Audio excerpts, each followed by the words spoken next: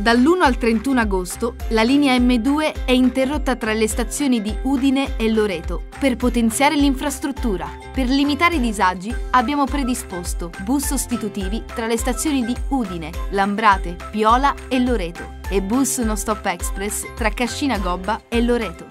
Stiamo lavorando per impermeabilizzare le gallerie dalla falda.